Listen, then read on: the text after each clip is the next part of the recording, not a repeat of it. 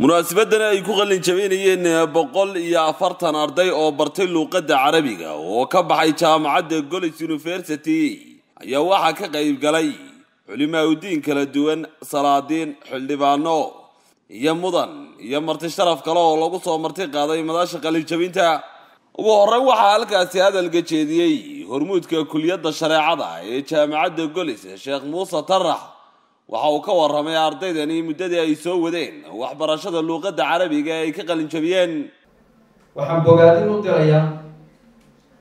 maamulka qeybtan maxad alluqa alcarabiya altaabic jaamicati golis kuliyat sharuuc diraasaat alislaamiya.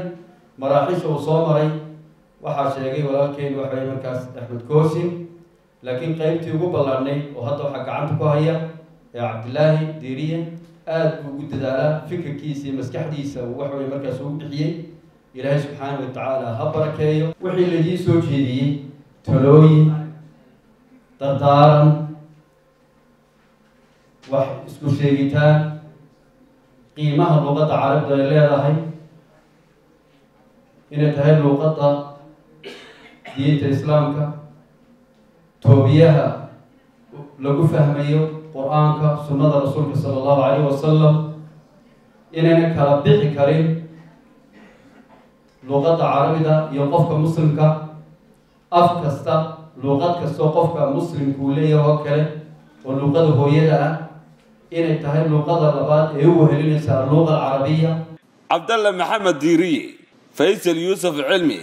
suldaan abu sufyaan iyo sidoo kale xildhibaan jamaal aadan diiriye oo ka a mudanayaasha golaha wakiilada somalilan oo dhankooda halkaasi ka hadlay ayaa iyaguna hambaliyo iyo bogaadin u diray ardayda qalin jabisay. Waxaan halkan iyaro warbixino kooban aan ka bixinayaa maxad lugati alcarabiyati jaamacati golis kuliyati shariicati wadiraasaat alislaamiya maxad luqa alcarabiya waxaa la asaasay labadii kun iyo shan iyo tobankii iminkana waxaa la taagan yahay labadii kun iyo labaiyo labaatankii toddoba sano sidaa ku jira maxadku arday badan dufcado badan ayaa ka takharujay intaas oo dhan. Dufcaddani waa dufcaddii toddobaad ee ka qalin jebisa maxad luqati alcarabiya.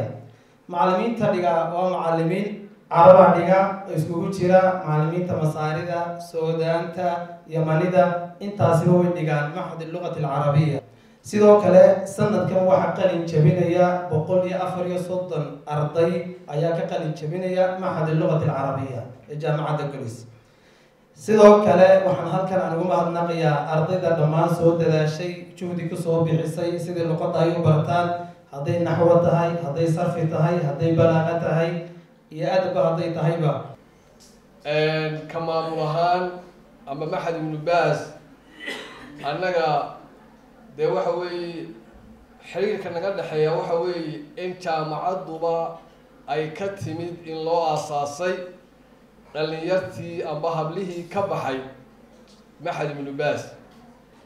aada iyo aad baa ardayda hambalyan ee qalin jabisay inamaya hablaba gaar ahaan hablaha tirada badan ee maanta waxbarashadooda halkan qaarna ku soo bandhigeen qaarna ay xagga la fadhiyaan waxbarashadoodii jaamacaddan golisna waxay soo korisay runtii waxaa u qiimo badan. Luqadda carabiga baranaysaan waxaa laga yaabaa qofku inuu qaato uun bal diinta iyo xagga adegeegtooda waxay baratid. Laakiin waa luqad aqooneed wey ingiriisku waxay jirtaa oo maanta dadkeena aada loogu faray boqol sano kama badna. Waxaa wixii ka horreeyey laga heli maayo waa bugaag carabiga u noqotaa laakiin aadamu laba kun oo sano aqoontii uu qoraya ardee af carabi ayay ku qoran tahay. Marka waqti in carabida lagu dadaalo oo xoogga la saaro sheekh faysal baa idin dhameeyey waa runtiisoo dagaal ayaa ku socda luqa alcarabiya waayo qofku hadduu luqadda carabida fahmo macnaheedu waxa weeye diintiisii buu fahmay caqiidadiisii buu fahmay wax badan baa u iftiimay weeyaan. Haddaanu qofku luqa alcarabiya aqoonin diintiisa wax badan ayaa ka maqan gabagabadii waxaa halkaasi shahaadooyin iyo sidoo kale jaa-isado kala duwan lagu guddoonsiiyey